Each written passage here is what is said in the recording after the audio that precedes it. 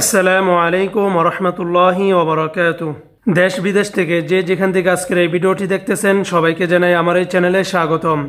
তো আজকের এই ভিডিওটি খুবই খুবই দুঃখের সাথে এবং লজ্জিতভাবে ভিডিওটি বানাচ্ছি। ভিডিওটি বানানোর কোনো ইচ্ছেই ছিল না, কারণ যেই প্রবাসীরা আমাদের দেশের চাকাকে প্রতিনিয়তই উন্নত করছে তারাই হলো আমাদের দেশের আসল রত্র রেমিটেন্স যোদ্ধা।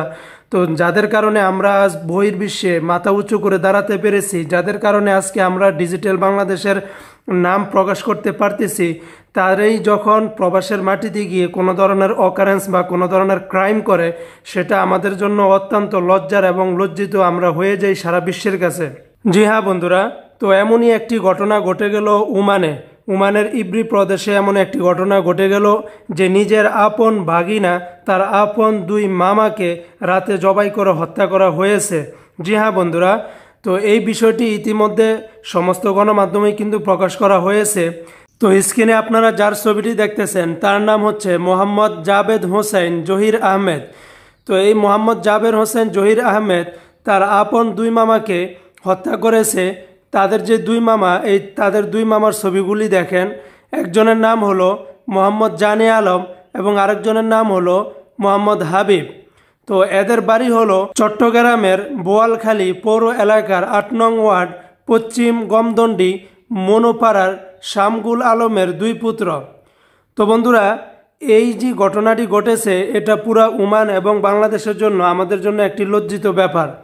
এবং ইতিমধ্যে সমস্ত জাতীয় গণমাধ্যমে এই মোহাম্মদ জাহেদ হোসেনকে গ্রেপ্তার করার জন্য একটি অ্যানাউন্সমেন্ট করে দিয়েছে। যে যেখানে দেখবে সেখানে যেন তাকে গ্রেফতার করা হয়। তো আমরা বিশেষ সূত্রে আমরা জেনেছি তাকে অলরেডি নাকি গ্রেফতার করা হয়েছে, তবে উমানের কোনো গণমাধ্যম এখনও পর্যন্ত সেটা অফিসিয়ালি খবর দেয় নাই। তো কী কারণে হত্যা করা হলো সেটা আমরা যাচাই বাছাই করতে গিয়ে ইব্রি প্রদেশের একজন ব্যবসায়ী সেটা আমাদেরকে জানায়। তিনি তার জবাবে যেটা বলেছে সেটি আমি আপনাদের সাথে উল্লেখ করতেছি। তিনি বলেছেন, ভাই যে দুইটাকে জবাই করেছে, তারা দুইজন ছেলেটার মামা হয়। তার আফন বাগিনা তাদেরকে জবাই করেছে রাতে ঘুমন্ত অবস্থায়। আমি একজন স্টিল ওয়ার্কশপ ব্যবসায়ী। তাদের দোকান ছিল আমার পাশের দোকানের সাথে। গতকালকে রাতের বেলা মামা বাগিনা কথা কাটাকাটি হয়। এক পর্যায়ে মামা বাগিনাকে বলে, তাকে দেশে পাঠিয়ে দিবে, ক্যান্সেল করে দিবে। রাতের এগারোটার সময় এইসব কথা নিয়ে অনেক কথা কাটাকাটি হয়।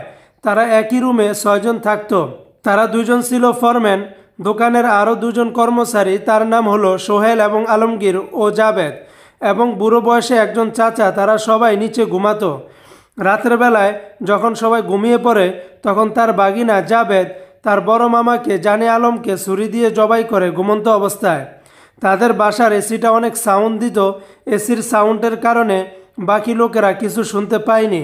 পরে বড় মামাকে জবাই করার পরে ছোট মামা হাবিবকেও একই ছুরি দিয়ে জবাই করে দেয়। আমরা সবাই সকালবেলা পরে সেটা জানতে পারি। আমরা সকালে দেখতে গেলাম, অনেক কষ্ট পেলাম দেখে। জাবেদ খুন করে পালিয়ে গিয়েছিল। তো বন্ধুরা, এই বিস্তারিত জানতে পেরেছেন যে কেন তাকে, কেন তাদেরকে হত্যা করা হয়েছে এবং কি কারণে। তো আমার আমার যেই অপিনিয়ন যে আসলে বিদেশের বাড়ি, দেশের বাড়ি তো এরকম অহরে অহরে ঘটনা ঘটতেছে, কিন্তু সেই ঘটনা যখন বাইরে হয়, তখন সেটা অত্যন্ত আমাদের জন্য লজ্জার একটি এবং খুবই একটি দুঃখের বিষয়।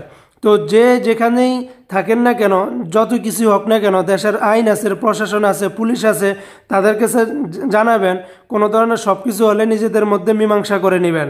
তো বন্ধুরা, আপনার কি মতামত জানাতে ভুলবেন না। ইনশাআল্লাহ পরবর্তীতে কোনো ভিডিও নিয়ে হাজির হব। আসসালামু আলাইকুম রহমতুল্লাহ।